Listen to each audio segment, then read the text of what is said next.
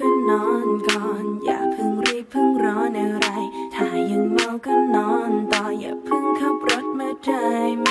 นานเท่าไร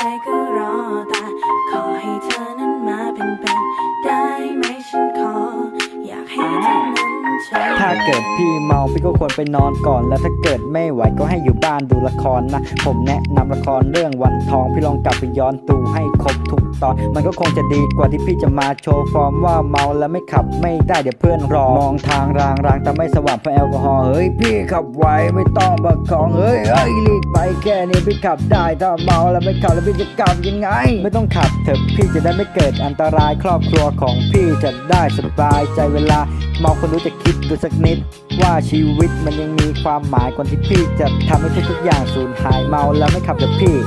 ก่อนที่มันจะสายถ้ายังเมาก็นอนก่อน